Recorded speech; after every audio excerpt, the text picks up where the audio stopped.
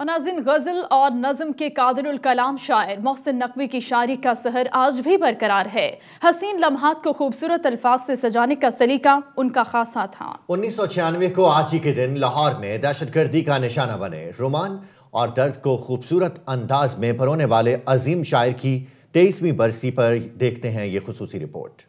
محسن نقوی پانچ مئی انیس سو سینتالیس کو ڈیرہ غازی خان میں پیدا ہوئے۔ اصل نام سید غلام عباس تھا، لیکن تخلص محسن نقوی ان کی پہچان بن گیا۔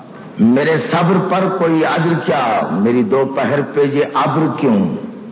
مجھے اوڑھنے دے عذیتیں میری عادتیں نہ خراب کر۔ محسن نقوی کی شاعری کا محور انسانی نفسیات حسن و عشق انسانی رویے اور اہل بیت سے عقیدت ہے۔ اس نے مقتل کی زمین چھو کے معلہ کر دی۔ پوچھنا کرب بلا سے یہ ہنر کس کا ہے؟ نظم قصیدہ اور مرثیہ گوئی کے جداگانہ انداز نے ان کو منفرد بنا دیا تھا۔ حکومت پاکستان نے انیس سو چورانوے میں انہیں تمغہ برائے حسن کارکردگی سے نوازا۔